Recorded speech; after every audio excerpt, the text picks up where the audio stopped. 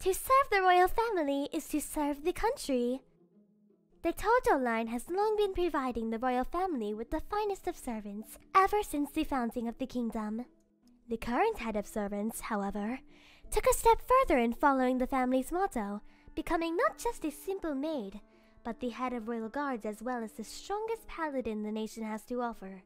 The figure of Kirumi Tojo has been sang in countless ballads, listing her endless feats for the greater good and the safety of the innocents. I can't believe I'm meeting a legend! And I'm not risking any blood loss this time. And that's when Chabashira lost consciousness because of blood loss. No! The best way to lie is to partially tell the truth. We just need to adjust the last part of your story.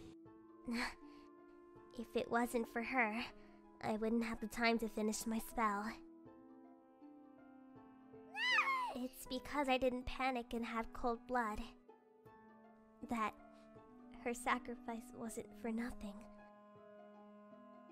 Her story matches Saihara's as expected. But. I see.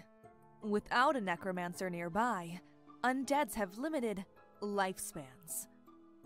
The safest way to fight them without a holy weapon is to incapacitate them and let them disappear.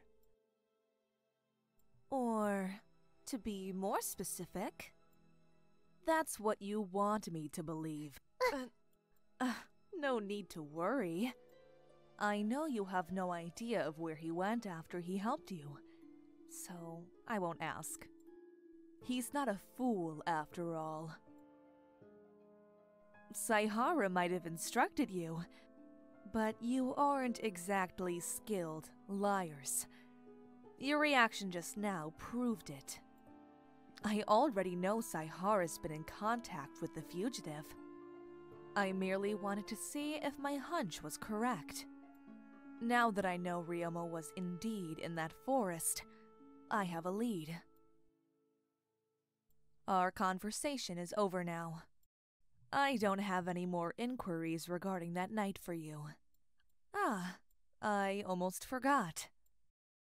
Chabashira? May I have one last word with you? In private?